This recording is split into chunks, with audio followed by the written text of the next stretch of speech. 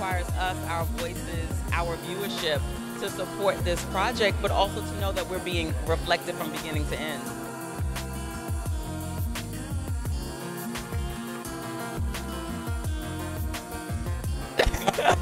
that no, but I have all kinds of little regimens, and my gym class is on fleek, so I'm committed. Committed to goals.